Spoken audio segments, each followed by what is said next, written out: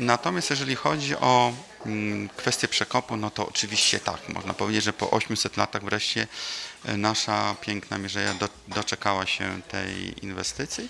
Między 15 a 17 października będziemy mieli przyjemność gościć tutaj główne osoby, które będą, już są odpowiedzialne za mm, przeprowadzenie tej inwestycji.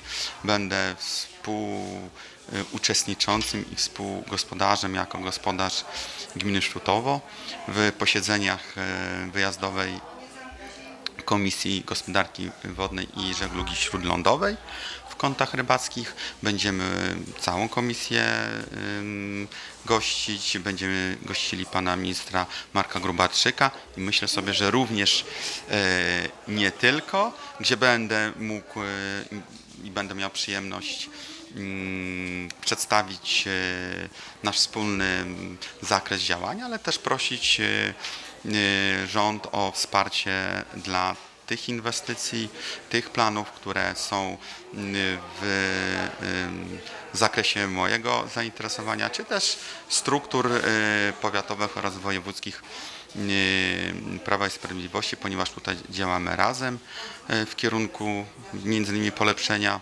zabezpieczeń powodziowych, naprawy tych wałów, kompleksowego podejścia do tego problemu, kompleksowego podejścia do kwestii y, Bobra, ale to jest jakby to powiedzieć y, wątek poboczny. Reasumując, czeka nas niezwykle ciekawy, konstruktywny okres y, mm, tych ostatnich dwóch tygodni. No i na pewno będzie działo się bardzo wiele dobrego dla gminy Sztutowo i dla całego rejonu.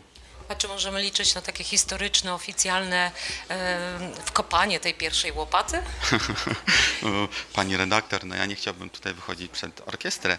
Na pewno rząd zaplanował tutaj y, bardzo ciekawe wydarzenia. Mogę tylko uchylić rąbka tajemnicy, że będzie ciekawie i y, gmina Sztutowo, samorząd będzie godnie reprezentowany. A czy już coś wiadomo, czy jakaś baza tutaj pracownicza, czy tutaj na Mierzei już jest stworzona, jakieś przygotowania trwają?